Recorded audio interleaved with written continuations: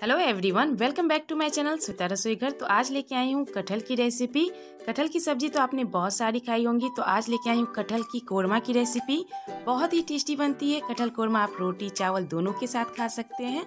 कटहल कोरमा की रेसिपी अगर पसंद आएगी तो प्लीज़ वीडियो को लाइक मेरे चैनल को सब्सक्राइब करें। तो चलिए बनाते हैं कटहल कोरमा। सबसे पहले मसाले को रेडी करूँगी तो एक बाउल में मैंने यहाँ पे दही लिया है। आप कटहल के अनुसार दही ले। दही मैंने फ्रेश यूज़ किया तो इसमें मसाले ऐड कर रही हूँ। मसाले में ऐड कर रही हूँ धनिया पाउडर लाल मिर्च पाउडर कटहल के अनुसार सारे मसाले ले। तो अब ऐड कर रही हूँ हल्दी पाउडर। इसी के साथ ऐड करूँगी थोड़ा सा ब्लैक पेपर पाउडर और इसे अच्छे से फेंट लूँगी।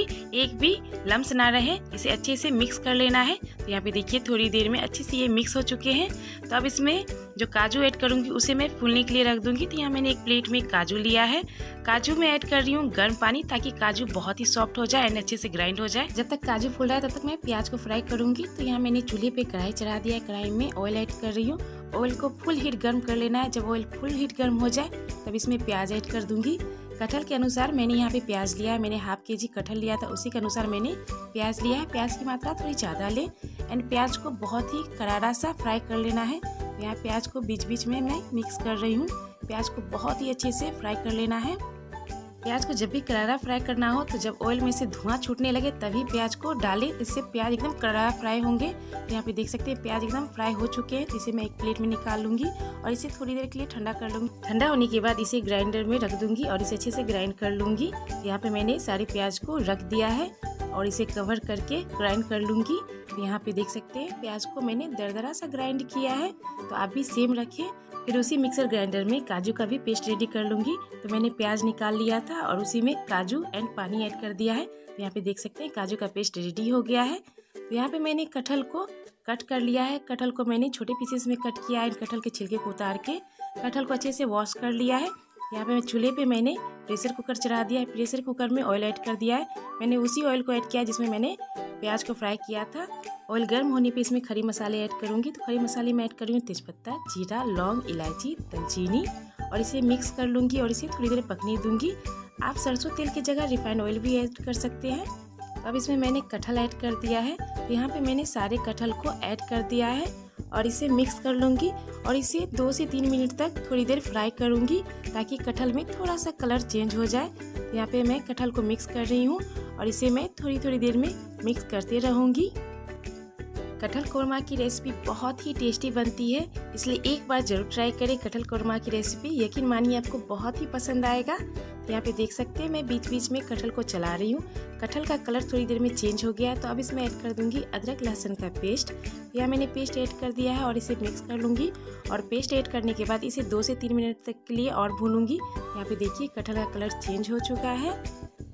तो कटहल को भूनते भूनते मैंने यहाँ पे कटहल को ड्राई कर लिया है। तो आप भी सेम रखिए, जब कटहल ड्राई हो जाए तब इसमें मसाले ऐड करूँगी। तो मसाले में जो मैंने ऐड किया था दही एंड मसाले को जो मिक्स कर लिया था पेस्ट बना लिया था, वो मैंने ऐड कर दिया है। तो पेस्ट ऐड करने के बाद इसी के साथ मैं ऐड कर दूँगी फ्राई किए हुए प्याज, जो मैंने ग्राइंड कर लिया था, वो भी मैंने ऐड कर दिया है। और इन दोनों को ऐड करने के बाद इसे मिक्स करूँगी और इसे चलाते रहें, क्योंकि इसमें दही है, दही फट ना जाए, इसलिए आप चलाते रहें। कटहल कोरमा जब भी बना रहे हो, जब भी दही आप यूज़ कर रहे हो तो दही एकदम फ्रेश यूज़ करें। यहाँ पे देखिए, इसे अच्छे से मैंने मिक्स कर लिया है। मिक्स करने के बाद इसमें टेस्ट के अकॉर्डिंग नमक ऐड कर दूँगी, क्योंकि नमक मैंने पहले ऐड नहीं किया था। नमक ऐड करने के बाद इसे मिक्स कर लूँगी और इसे थोड़ी देर भूनूँगी अच्छे से। इस समय गैस की फ्लेम को मीडियम रखें, ताकि ये अच्छे से भून जाए। फ्रेंड्स अगर आपको श्वेता रसोई घर की रेसिपी पसंद आती है तो प्लीज़ वीडियो को सपोर्ट कीजिए लाइक कीजिए, मेरे चैनल को सब्सक्राइब कीजिए। यहाँ पे देखिए, मैंने थोड़ी देर भून लिया है। तो अब इसमें घी ऐड कर दूँगी। तो यहाँ मैंने एक चम्मच घी ऐड किया है। इसी के साथ मैंने काजू पेस्ट भी ऐड कर दिया है और इसे मिक्स कर लूँगी। घी एंड काजू पेस्ट ज़रूर ऐड करें। इससे बहुत ही रिच क्रीमी सा टेस्ट आता है कटहल कोरमा में। फ्रेंड्स इस तरीके से आप भी बनाए कटहल कोरमा। आपके घर में हर किसी को ये पसंद आएगी। आप एक बार खा लेंगे। तो ये बार बार आप खाना पसंद करेंगे। तो यहाँ पे देखिए, थोड़ी देर में कटहल का कलर भी चेंज हो गया एंड ये अच्छे से ड्राई हो चुका है। तो इसमें पानी ऐड कर दूँगी। मैंने जो मिक्सर ग्राइंडर में मसाले को ऐड किया था, वही पानी मैंने मिक्स करके ऐड कर दिया है। तो कटहल के अनुसार इसमें पानी ले एंड इसे अच्छे से मिक्स कर लूँगी। तो आप ग्रेवी के अनुसार भी इसमें पानी ऐड कर सकते हैं। मैंने कम ही पानी इसमें ऐड किया है। इसे मैंने अच्छे से मिक्स कर लिया है। तो अब इसमें ऐड कर दूँगी गर्म मसाला पाउडर। आप चाहे तो सब्ज़ी मसाला पाउडर भी यूज़ कर सकते हैं। इसी के साथ मैंने ऐड कर दिया यहाँ पे कसूरी मेथी। कसूरी मेथी ज़रूर ऐड करें। कटहल कोरमा में ये सारी इंग्रेडिएंट्स ज़रूर यूज़ करें। बहुत ही टेस्टी बनती है। इसे मैंने मिक्स कर लिया है। इसे कवर कर दूँगी और इसे चार से पाँच सीटी बजने तक अच्छे से पकाऊँगी हाई टू मीडियम फ्लेम पे। यहाँ पे पाँच सीटी बजने तक मैंने अच्छे से पका लिया है। तो रेडी है कटहल कोरमा। देखिए इसका कलर बहुत ही बढ़िया आया है, ये ग्रेवी भी बहुत ही अच्छी आई है। तो रेसिपी पसंद आई है तो वीडियो को लाइक, चैनल को सब्सक्राइब करें। तो फिर मिलते हैं अगली रेसिपी के साथ, तब तक के लिए bye friends and take care